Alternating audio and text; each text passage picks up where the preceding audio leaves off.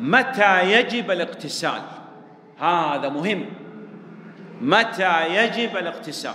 نعم. متى تغتسل؟ إسلام الكافر يقول الكافر إذا أسلم لابد يغتسل. تمام. موت غير الشهيد. موت غير الشهيد. أي أي مسلم يموت لابد نغسله ونكفنه ونصلي عليه وندفنه. مفهوم؟ أي نعم. إلا الشهيد شهيد المعركة. مفهوم؟ لا يغسل. تمام. والثالث المرأة إذا طهرت من الحيض أو النفاس لابد تغتسل. والجماع وخروج المني من محتلم نائم أو من مستيقظ مفهوم؟ صحيح أو لا؟ كم أصبحت الآن؟ أنا الله أعلم عديت ستة. أوقف. وين قالك تجلس؟ متأخر وتجلس؟ نعم. من الأول؟ الأول؟ مو إسلام الكافر وموت غير الشهيد والمرأة إذا طهرت من حيض أو نفاس والجماع والإحتلام سواء من مستيقظ أو من من نائم إذا خرج المني دفقا بلذه سواء من مستيقظ أو احتلم بالليل واستيقظ وجد أثر المني. تمام. اجلس. بقي شيء؟ ها؟ ما هو؟ ما سمعت شيء أنا. سمعتم شيء؟ الحمد لله. أنا ما أسمع شيء. نعم.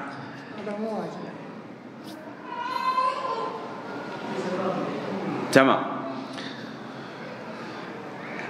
الدين الإسلامي. يقول ابن القيم رحمه الله يقول لو لم يأتي النبي صلى الله عليه وسلم بدليل على صدقه هو الصادق المصدوق عليه الصلاة والسلام إلا أنه أتى بهذه الشريعة لا يكفي. تكفي يقول هذه الشريعة أن فيها الشاهد والمشهود له والحجة والمحتج له والخبر والبرهان وأنه لم يطرق العالم مثل هذه الشريعة. والله الذي لا إله إلا هو في أوروبا مرأة أسلمت بسبب أنها تعمل في غسيل الملابس مغسلة ملابس. عندكم هناك تعمل في غسيل الملابس. أسلمت عندما رأت الملابس الداخلية للمسلمين. أسلمت. ليش؟ طهارة استنجاء استجمار. نسأل الله العافية والسلامة.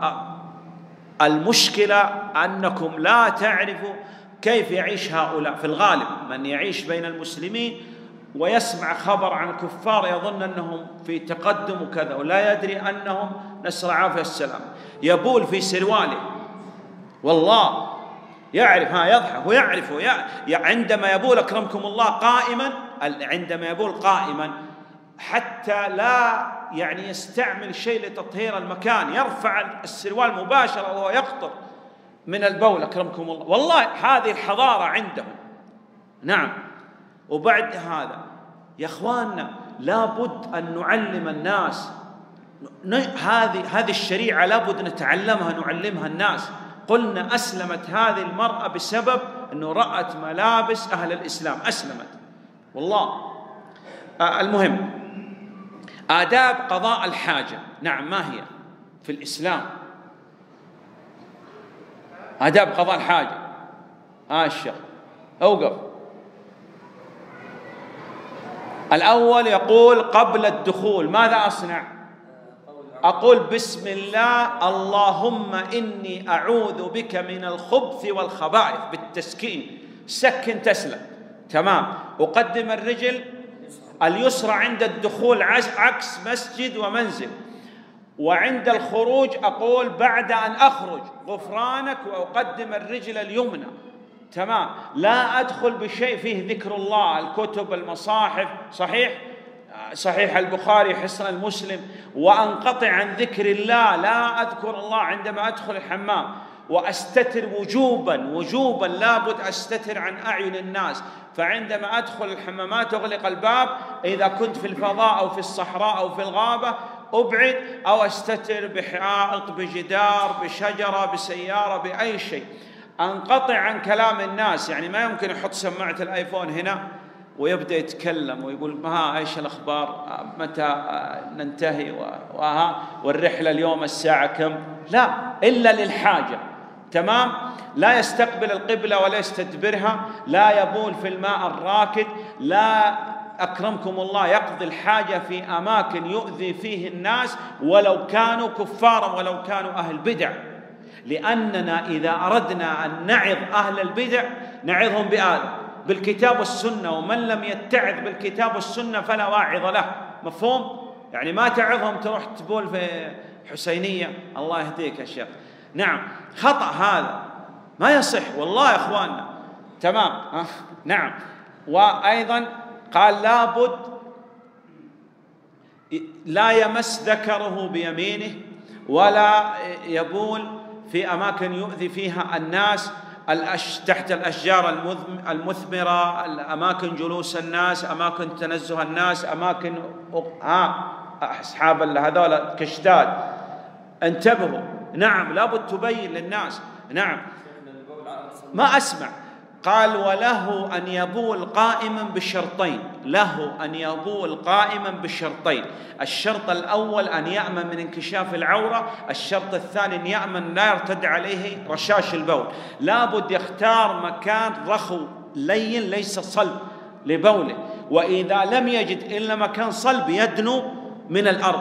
لا يبول في الجحور في أماكن فيها الهوام الحيات الآفاعي العقارب حتى لا يخرج عليه شيء. تمام. إذا انتهى من قضاء الحاجة إذا انتهى من قضاء الحاجة وجب عليه وجوبا تطهير المكان وجب عليه وجوبا تطهير المكان. تطهير المكان يقول على صفتين الصفة الأولى بالماء. وهذا واضح لا نحتاج إلى شرح. كيف يطهر المكان بالماء؟ الصفة الثانية بالمناديل بالحجارة بالأخشاب بالخرق مفهوم؟ هذا الأول يسمى استنجاء واستعمال الحجارة المناديل وكذا يسمى استجمار. تمام. الفقهاء بعض الفقهاء يقول الأولى أن لا يمس النجاسة بيده. فيخفف أثر النجاسة بالرشاش. عندنا مثلا رشاش الماء قبل أن يمس النجاسة بيده يغسل مكانها. طيب استعمال الحجارة المناديل يشترط فيه شروط. الأول أن تكون طاهرة لا نجسة. الأول أن تكون المناديل الحجارة طاهرة لا نجسة. مفهوم؟ فما يأخذ شيء نجس. طاهرة لا نجسة. الثاني أن تكون ألا تكون محترمة أن ما يصح يأخذ أوراق الجرائد خاصة الجرائد العربية لأنه في الغالب فيها عبد الله وعبد الرحمن والملك عبد الله رحمه الله مثلا. صحيح؟ و ألا تكون طعام لا للإنس ولا للجن ولا لدواب الإنس ولا لدواب الجن. مفهوم يا أخي؟ خبز برسيم عظم لا ما يستعمل هذا. والأصل أن يستعمل ثلاثة مناديل ثلاثة أحجار. لأنه الآن مثلا لو أخذ هذا الحجر الأول اعتبر هذا حجر ومسح هنا مرة أصبح الحجر إيش؟ نجس ما يستطيع يستعمله مرة أخرى إلا إذا كان الحجر كبير يمسح مرة من هنا ومرة من هنا ومرة من هنا. ممكن. المنديل إذا استخدمه مرة واحدة أصبح المنديل إيش؟ نجس إلا إذا كان المنديل كبير مثلا يمسح من هنا مرة من هنا مرة ممكن. مفهوم؟ أقل شيء ثلاثة أحجار ثلاثة مناديل هذا أقل شيء. حتى ولو حصل النقاء بحجرين لا تكتفي. أقل شيء ثلاثة أحجار ثلاثة مناديل فإذا رجع رجع المنديل أو الحجر جافا ليس فيه أثر بول ولا غائط. هذا معناه أنه حصل النقاء تكتفي بالثلاثة وإلا تزيد تزيد حتى يحصل النقاء. كيف يحصل النقاء؟ بأن يرجع المنديل أو الحجر جافا ليس فيه أثر بول ولا غائط. مفهوم؟ تمام. حصل النقاء بستة أحجار ستة مناديل. السنة أن تقطع على عدد فردي لا عدد زوجي تزيد السابع استحبابا. وإلا إذا بقيت على ستة يصح ولا إشكال. الأصل أن المسلم مؤتمن على طهارته ولا يوسوس لأنه أكثر وسواس عندنا يحصل أين؟ في الطهارة وفي الصلاة. وقال ما بال اليهود والنصارى لا يأتيهم وساوس في عباداتهم. قال لماذا؟ يهود ارفع رجليك. لماذا اليهود والنصارى لا يأتيهم؟ أنت ما عندك مشكلة. هذا ممنوع وأنت مسموح للحاجة. قال لماذا اليهود والنصارى ما عندهم سجود سهو ما عندهم كذا في عباداتهم؟ قال وما يصنع الشيطان بالقلب الخارب أعمالهم لأنها خراب يريد يفسدها الشيطان. لا أعمالهم لأنها خراب ما يخربها هي خراب مفهوم؟ جدر الآن منهدم. إيش تصنع فيه؟ ولا شيء هو منهدم صح. لكن أعمالك لأنها صحيحة بإذن الله. أنا كيف أعرف أنها صحيحة؟ الله سبحانه وتعالى وضع لنا علامات وأمارات نعرف بها صحة العمل من فساده صح؟ الآن نحن بفضل الله صلينا المغرب. جاءنا هذا الشيخ وقال صلاتكم للمغرب صلاة باطلة. نقول اسمع إحنا صلينا الصلاة بشروطها وأركانها وواجباتها وانتفت عنا المبطلات. ما عندنا مبطل. أنت تدعي البطلان أنت مطالب بالدليل صح أو لا؟ أي نعم ما يستطيع أن يقول صلوا عد صل... لأنه ممكن يجيك بعض الجهال اليوم قال صلاتكم باطلة. قل اسمع توكل على الله. إحنا صلينا الصلاة القبول وعدم علم عند الله. لكن الله سبحانه وتعالى وضع لنا علامات وأمارات نعرف بها صحة العمل من فساده مفهوم؟ أي نعم. طيب. فالشيطان يريد يفسد عليك الأعمال بماذا؟ بالوساوس. أنت تعبد من؟ والشي... والوساوس. من, من الشيطان. إذا إما أن تصغي لكلام الله وتترك الوساوس أو تكون مع إبليس. تختار. أنا مع الله طبعا لا شك. جاء رجل لابن عقيل ابن عقيل إمام. وقال يا إمام إني أنغمس في اليم أنغمس في البرميل مثلا في الماء يدخل بكامله. ثم قال عندما أخرج أرى أن أن مني جزء لم يصبه الماء. ماذا علي؟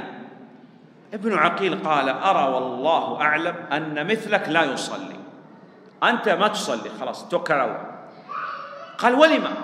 لما أسقط عني الصلاة؟ قال لأن النبي صلى الله عليه وسلم يقول رفع القلم عن ثلاث وأنت أحدهم. مجنون.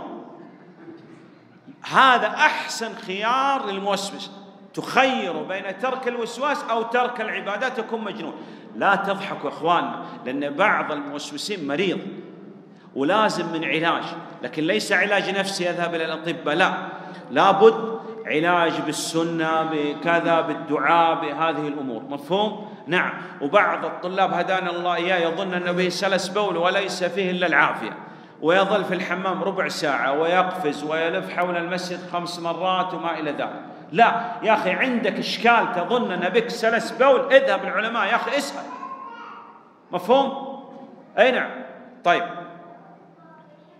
أخذنا إذا وقفنا إلى آداب قضاء الحاجة وأخذنا الاستنجاء والاستجمار. نكمل بإذن الله تعالى بعد صلاة العشاء. والله أعلم. وصلى الله وسلم على نبينا محمد وآله وصحبه وسلم. جزاكم الله خيرا.